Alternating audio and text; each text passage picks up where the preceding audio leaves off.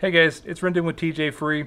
One of the most exciting things for me is when I can use free and open source software to create something uh, in the real world. And I got the camera out today to make a quick video about open source and 3D printing. I've been really happy. I, I dusted off my 3D printer and I've been printing a lot this week.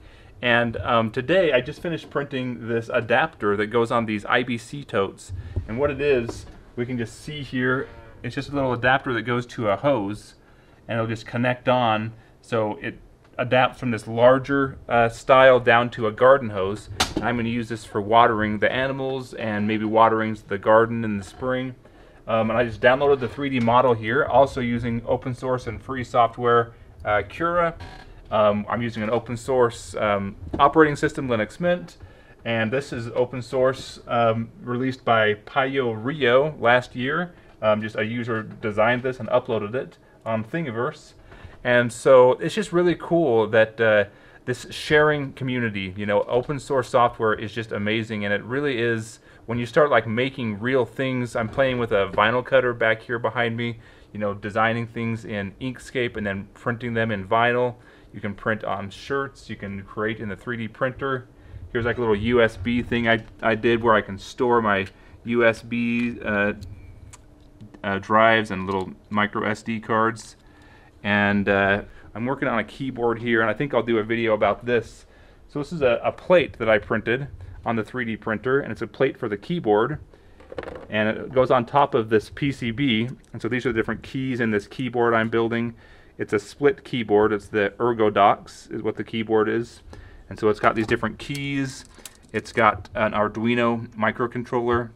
And this is like the right side then this will be the left side. But this is 3D printed. You can 3D print the whole case.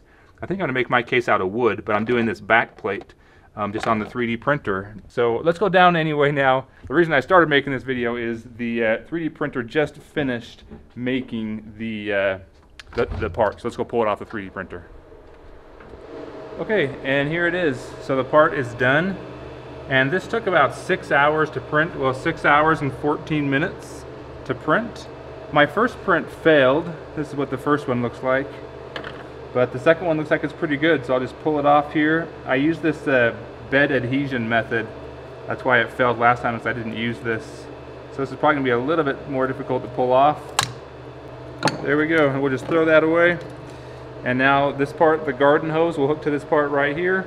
This part will thread onto the IBC tote, and we'll see how durable this is. This is printed in PLA, um, ABS would be a little bit stronger, but I have, don't have any ABS filament and I haven't printed with that yet. So uh, I'll have to give this a try and see how it goes, but it looks pretty good. I'm happy with the print.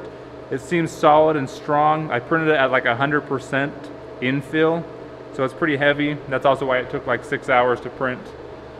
Anyway, just a quick video talking about um, how happy I am with the open source community, with people that design things. You know, thank you very much for people that um, design things and share, whether it's just art and 2D or music or 3D models. Um, it's really cool, and I want to encourage people to do more of it. Learn how to use this software, whatever it is, you know, Inkscape, FreeCAD, Blender, and then upload and share uh, your creations so other people can use them. Anyway, thanks so much for watching, guys. Uh, go ahead and leave your questions in the comments below if you have any, and look forward to catching you in the next video.